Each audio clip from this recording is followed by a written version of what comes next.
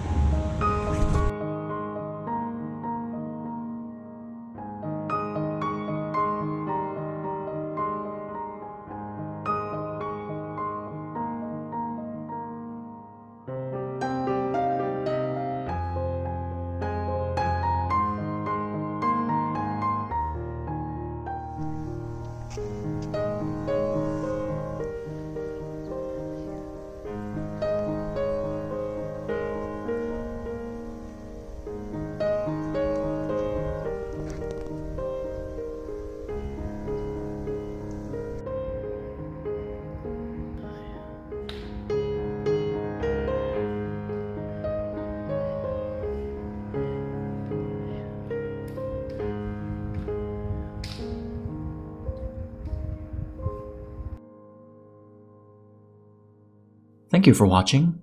If you enjoyed this video and would like to be notified for future videos, please subscribe to Furious Owl Studio.